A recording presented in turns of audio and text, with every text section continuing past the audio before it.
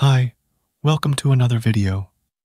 So, Google has just launched some pretty cool new upgrades to Chrome, and they're basically trying to launch a new era of Chrome with these features, aiming to compete with things like Comet and Dia.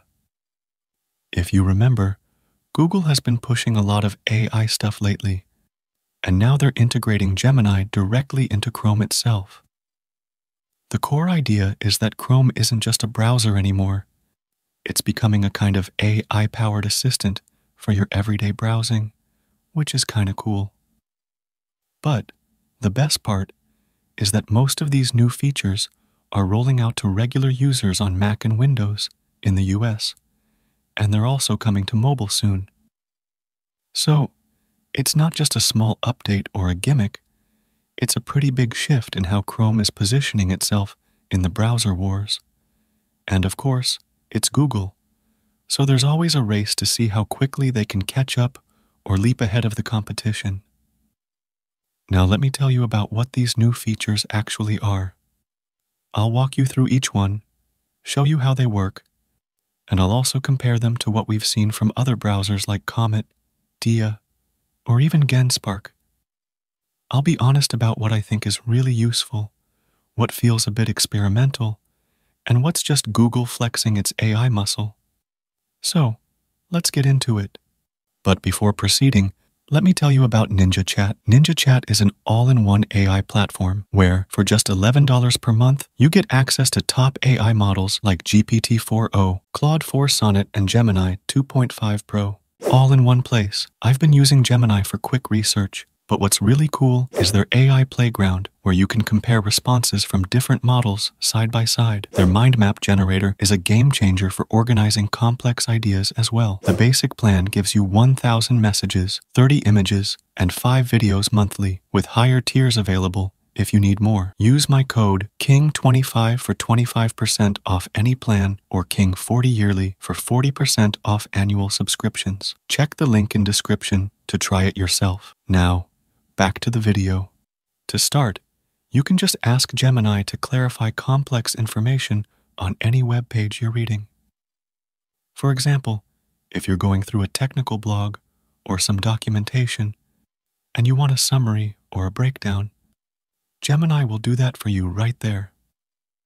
No need to copy and paste into some other chatbot or tool. This is very similar to what we've seen with tools like Claude or even Arc Max, but having it built into Chrome makes it so much more seamless. And it's rolling out to all Mac and Windows desktop users in the US, with English as the set language. It's also coming to mobile soon. On Android, you'll be able to activate Gemini by holding the power button. And on iOS, it'll be built right into the Chrome app as well. For businesses, It'll be available through Google Workspace with enterprise grade protections, which is great if you care about data security or you're in a corporate environment where privacy is a big deal. One thing that stands out is the new agentic capabilities coming to Gemini and Chrome. It's not available yet, but it should be out soon enough. This is something we've seen in some agentic browsers before, and honestly, it's something I've really wanted to see in Chrome for a while. In the next few months, you'll be able to tell Gemini to handle tedious tasks for you, like booking a haircut or ordering groceries, directly on web pages.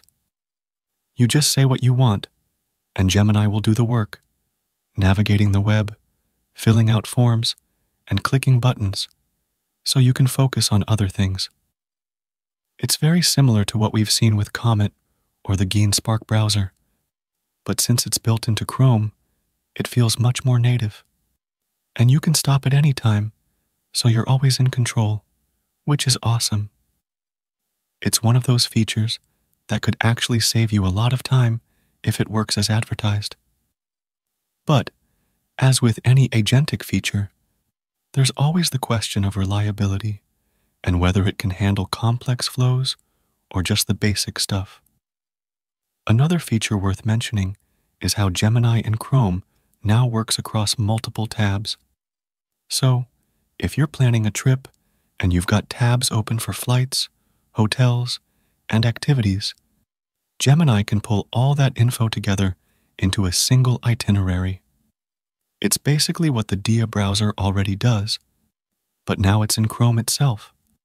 For people who keep lots of tabs open for research or planning, this could be a real game changer.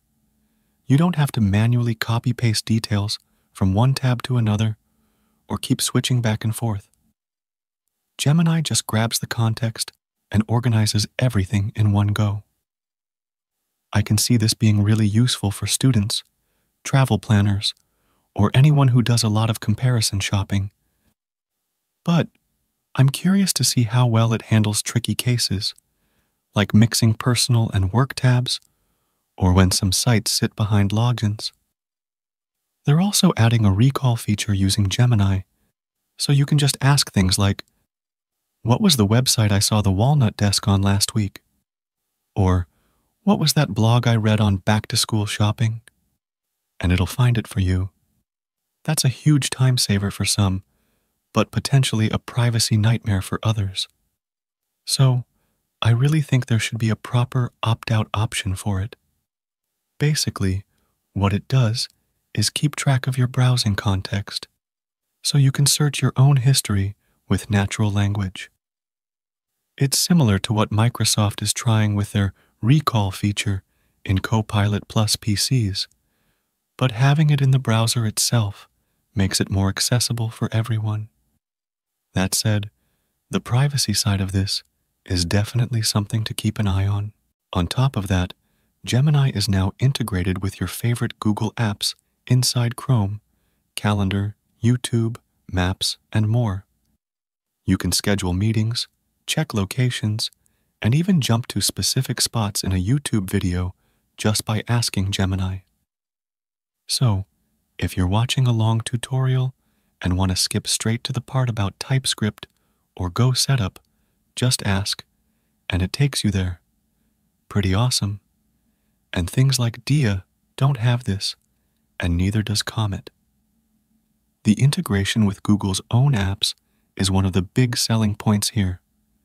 If you're already deep in the Google ecosystem, this just makes everything more streamlined. For example, you could be reading an email in Gmail get a meeting invite, and add it straight to your calendar without ever leaving the tab. Or you could be watching a YouTube video and instantly jump to the right section based on a question you ask. It's the kind of feature that saves just a few clicks at a time, but over days and weeks, it really adds up. I do wonder, though, how well this will work with third party apps, or if it's just going to stay a closed ecosystem for now. Another big update is AI mode in Google Search, now available directly from the Chrome address bar, the Omnibox.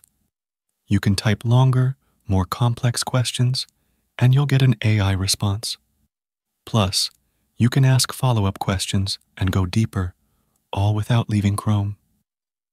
It's rolling out in English in the US first, but it'll expand to more languages soon.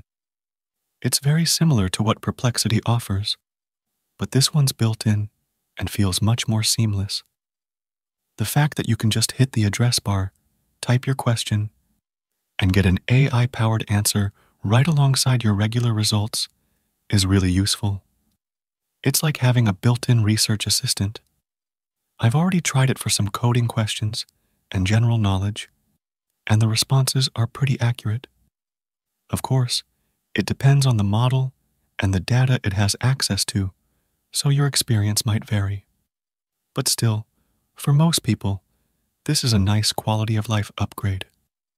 Also, you can now ask questions about the entire page you're on directly from the Omnibox. Chrome will suggest relevant questions based on the page context, and you'll get an AI overview from search right alongside, with the ability to keep asking follow up questions in AI mode. So, if you're reading a really long blog post and want more info about a specific section, just ask, and Chrome will help. That's especially useful for dense documentation or technical articles where you might not understand the jargon. Or maybe you just want a quick summary of a section. This is very similar to what Arc Max and some extensions already offer. But again, having it built into Chrome makes it way easier to use. I think this is going to help students and developers a lot when they're learning new tech or trying to get up to speed on something quickly. So, to sum up, Google's basically turned Chrome into an AI powered productivity hub. You get Gemini for summarizing and explaining content, agentic browsing for automating tedious tasks, multi tab context awareness, recall for past browsing, deep Google app integration, AI powered search, and page Q&A, better security, and smarter notifications. It's sort of a catch up move for their browser in the new AI era. However, it's still early days for some of these. Agentic browsing isn't fully live yet, and there are still privacy questions about how much data is being processed. But overall, the direction is promising, and that's why I wanted to talk about it. I mean, I liked it. I've been using some of these features in the Canary build of Chrome, and they really do make a difference in day to day browsing. There are still some rough edges, and not everything is as smooth as you'd like, but that's pretty typical for a big rollout like this. Google tends to iterate quickly, so I expect things will improve in the next few months. If you're into trying new features, I'd say give it a shot and see how it fits into your workflow. If you're more privacy conscious, make sure to check the settings and keep an eye on what data is being collected. Please subscribe to the channel and share your thoughts too.